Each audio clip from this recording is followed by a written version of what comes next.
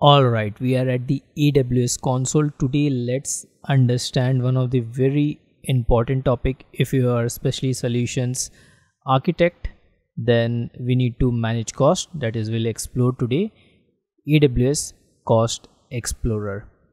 So let's check out how to analyze cost. So as soon as we open, we'll be presented out with a, a console so there are basically uh, different types of graphs here as you can see. Uh, this is kind of the uh, stacked uh, graph at the end. We can also uh, look at the uh, bar graph. This is a straight line graph. Here we, we can see the services. What are the how much amount they are consuming. This is kind of like a line um, graph kind of thing so uh, let's uh, put back to the stacked bar graph. Uh, this is the uh, total uh, cost. Average monthly cost is very low for us. So let's now explore uh, the different things which we can do. So on the right hand side if you look at it there's a like time thing. So we can mention the time range as well.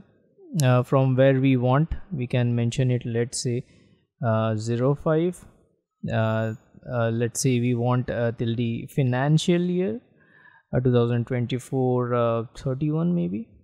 Let's make it a little uh, like 04 maybe. 0, yep financial year uh, it looks good. Let's select on apply. So it will show you on a like on the calendar itself what it's applying basically. So let's click on apply so if we uh, click on uh, apply so basically uh, you can uh, note uh, the cost is uh, very low. And here we can see the services count. Services count means the aws services how many services are there. So our most of the amount what i can see is if we scroll down a bit is coming from the ec2 instance uh, then uh, we need to pay some tax definitely. So tax is also a consideration. Then um, inspector uh, this is a security service for ec2 we know that right? So there are many services. Sometimes i've seen waf also uh, cost uh, tons of money because security um, services cost. So uh, now let's you have under since you've understood this date range. Now let's change uh, we can also select the granularity whether you want to uh, check it out on hourly basis or daily basis. So hourly basis it will be definitely uh, very low. Um, so uh, let's uh, now select the dimension. Like we can also select there are many dimension to it. If we want to select via the region since I have spent resources on multiple region so here is, is a, a region wise cost breakdown as well. If we uh, put uh, the cursor it will show you the region wise how we uh, see it. There are many types. So let's uh, select service. Then we can also uh, filter uh, using the specific service if we know like the ec2 let's use ec2 instance and apply. So it will show May 2023 how much uh, like around uh, 0.22 dollars. Uh, this is like March 2024 so we can also select uh, filter out via the uh, specific AWS service if you want. Let's remove the filter. Uh, let's there are actually many things like we can select choose tags if we have selected like dev test environment do, those kind of thing if you've already defined via the tags also we can uh, uh, choose it. Then let's uh, dive into some of the important topics. Uh, there is also a credit section right? This is uh, actually we are paying uh, via the credit card or debit card whatever.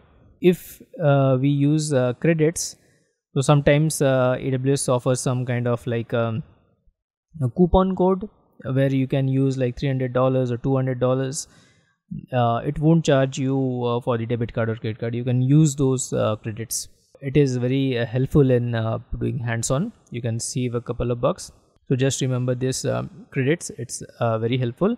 Then also we have some uh, uh, machine learning features that is cost anomaly detection. Let's uh, click on it.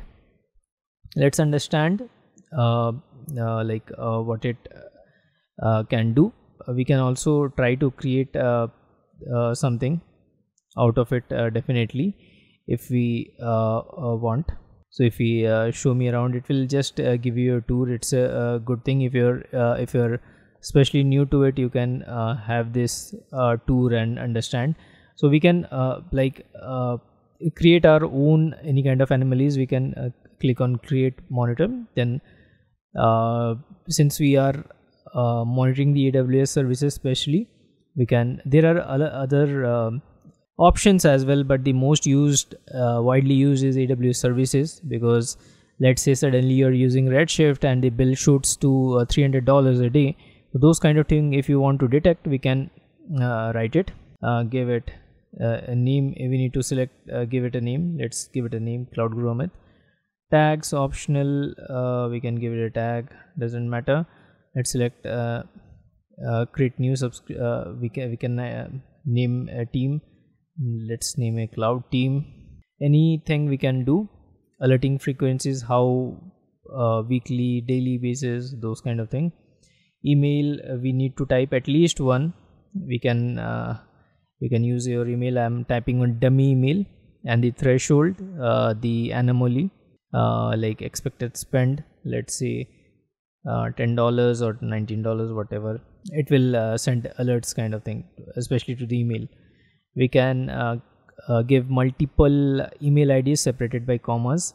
As i mentioned here use commas to separate between email ids 10 max uh, we can give recipient. We can create monitor. I'm not creating it.